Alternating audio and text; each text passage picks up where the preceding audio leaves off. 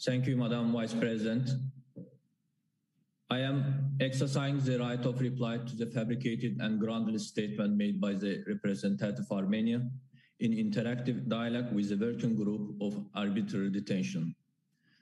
We reiterate that there are no prisoners of war in Azerbaijan. We remind that the members of terrorist sabotage group of Armenia captured in the liberated Khojavend region of Azerbaijan are not considered prisoners of war under international humanitarian law because they were deployed to the territories of Azerbaijan on 26th of November 2020, two weeks after the signing trilateral statement.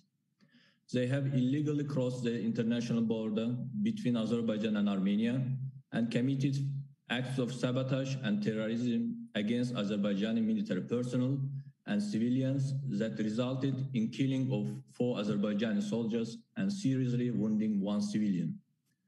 They are liable under criminal legislation of Azerbaijan and an open trial of the arrested person is underway.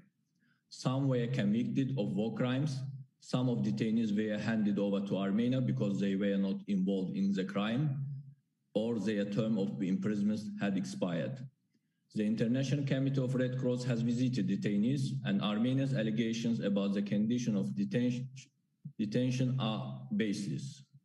Moreover, the European Court of Human Rights rejected Armenia's appeals to immediately release Armenian nationals currently detained in Azerbaijan. By rejecting the appeals lodged by Armenia, the court confirmed Azerbaijan's rights and obligation under international law to investigate and detain as well as prosecute individuals suspected of violating national and international law, including committing heinous war crimes. We once again urge Armenia to refrain from attempts to use the platform of Human Rights Council to spread fake news and mislead global community regarding the real situation.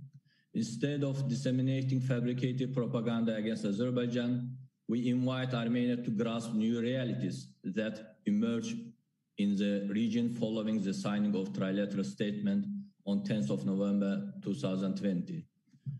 The trilateral statement has laid unique ground for the normalization interstate relations on the basis of respect for sovereignty, territorial integrity, inviolability of international borders.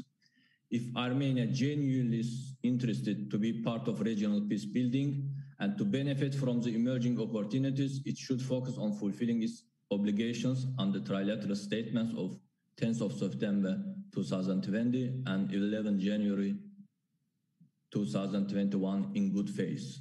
I thank you.